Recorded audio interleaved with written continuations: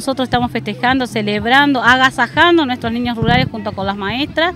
Eh, a nivel nacional se celebra hoy el Día de la Educación Rural. Es por eso que nos concentramos en la Asociación Exposición Rural Feria, como el año pasado. En este año concurren algo de 900 niños y 56 escuelas presentes. Desde mi rol, para mí es muy importante por dos cosas fundamentales.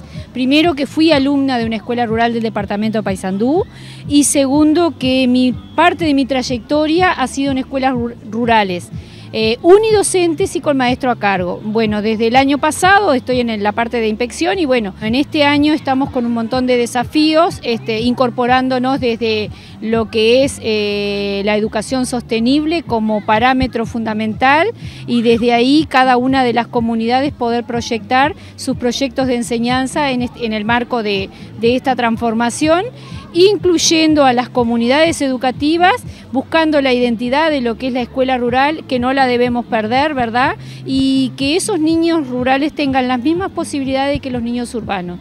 Todos los departamentos tienen este, escuelas rurales en sus diversos formatos, eh, porque tenemos escuelas rurales con maestros unidocentes, este, con grupos, este, con niños este, de diversas cantidades, pero que son menos a veces de, de 20 niños, este, 10 niños, 8 niños.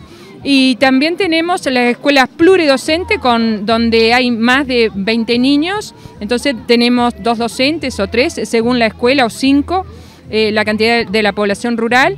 También tenemos los centros de pasantías, tenemos este, escuelas rurales con CBR, este, tenemos eh, también los internados rurales.